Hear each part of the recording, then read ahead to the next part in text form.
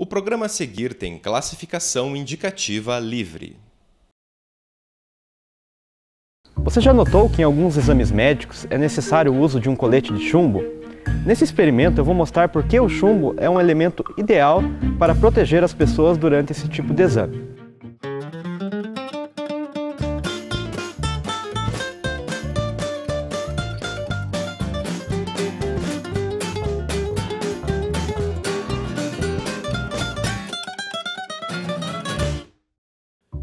Radiações ionizantes podem ser nocivas porque favorecem reações químicas entre os átomos presentes no corpo.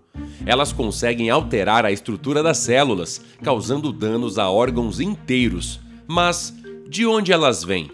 Uma das fontes são os átomos presentes na natureza.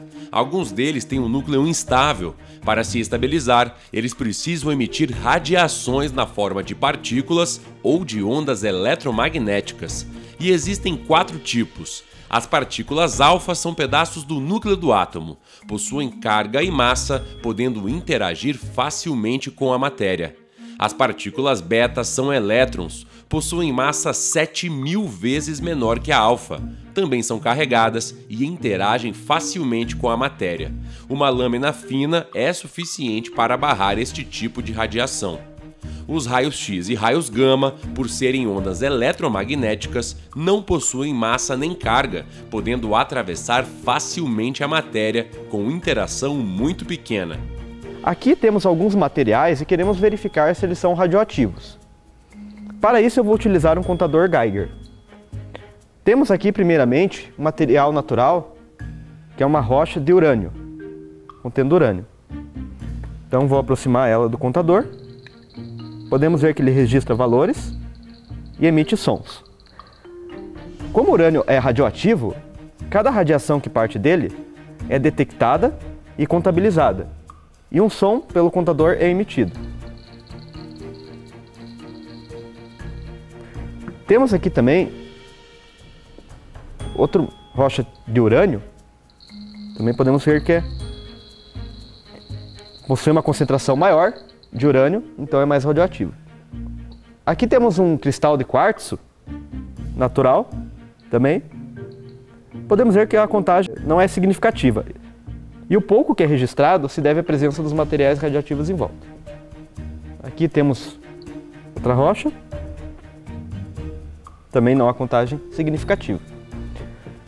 Temos o chumbo aqui também. Podemos verificar se ele é radioativo também não tem contagem significativa. Temos aqui também alguns materiais do cotidiano, por exemplo, uma pilha. Não apresenta contagem significativa. E um celular. Também não.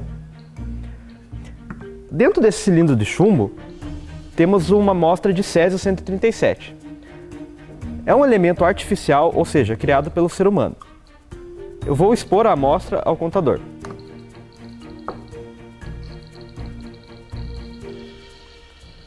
Entre a amostra e o contador, eu vou colocar a placa de chumbo.